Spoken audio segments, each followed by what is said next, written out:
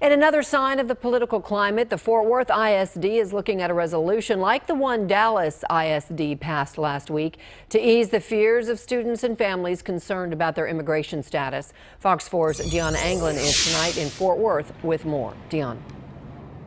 Yeah, that is right. Uh, this meeting is set to get underway in about a half hour. And as you mentioned, there is at least one agenda item that is getting uh, quite a bit of attention and seems to parallel recent action in other Texas school districts, including in DISD, within DISD, and in Austin. Now, the Fort Worth ISD School Board tonight will consider the approval of a resolution as it pertains to immigration matters within schools, schools where 62% of the students are Latino. The formal decree would designate all Fort Worth schools as welcoming and safe.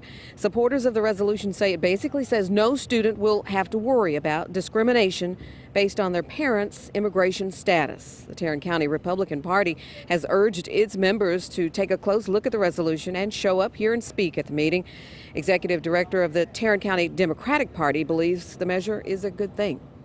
The Supreme Court ruled that regardless of a child's immigration status or their parents, they're entitled to a quality education. And it's the exact same thing here in Fort Worth. And if this resolution passes, that's exactly what's going to happen. The Fort Worth ISD is going to further reaffirm that.